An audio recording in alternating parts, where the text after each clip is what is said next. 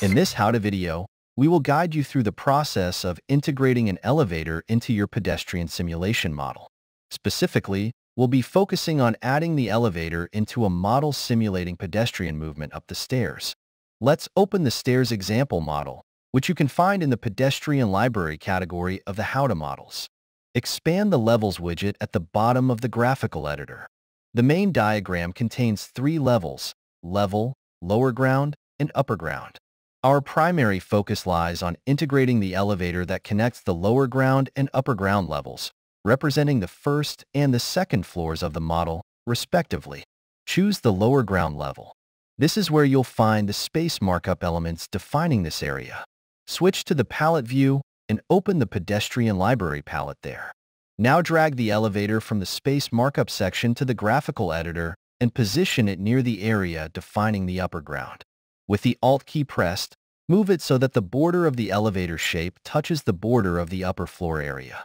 Rotate the elevator shape so that the door is located on the shape's right edge and faces the upper floor area.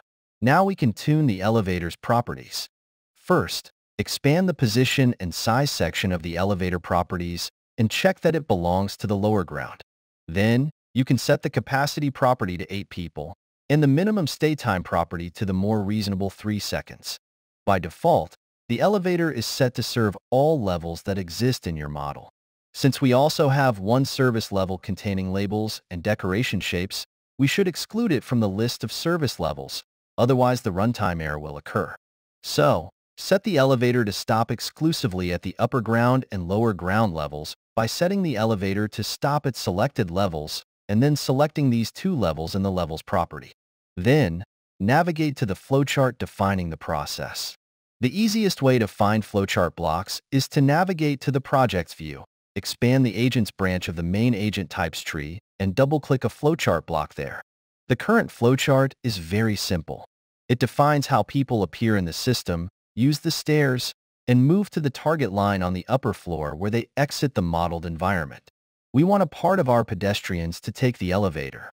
So, we need to redirect the pedestrian flow to two alternative routes.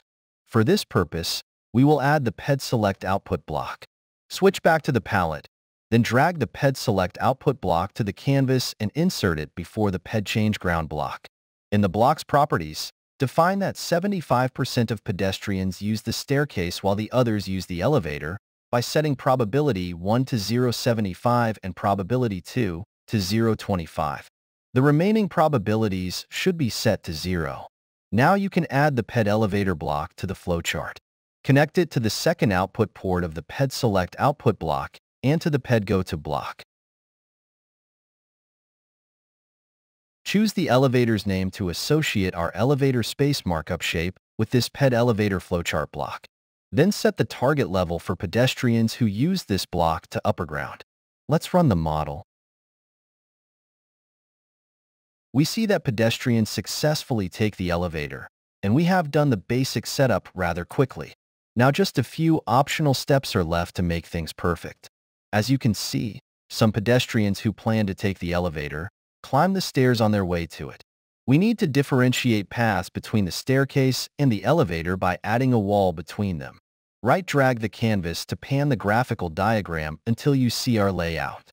Double-click the wall element in the space markup section of the pedestrian library palette. Then click in the graphical editor to start drawing the wall near the staircase. Click to add a corner point and double-click near the elevator to finish drawing.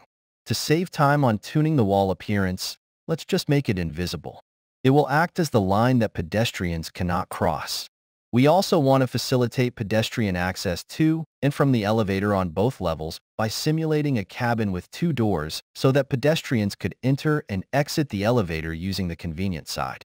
Change the elevator's doors configuration property to the front-rear configuration. If we run the model now, pedestrians will use both doors on each level.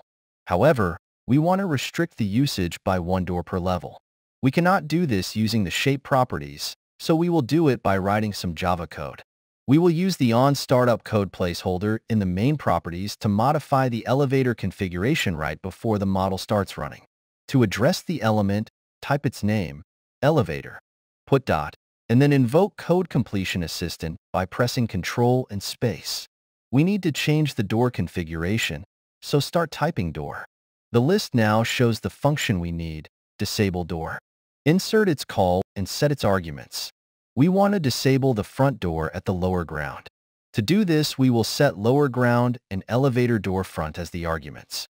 To disable rear door on the upper ground, add a similar line of code and modify it to elevator, disable door, upper ground, elevator door rear. When done, run the model again.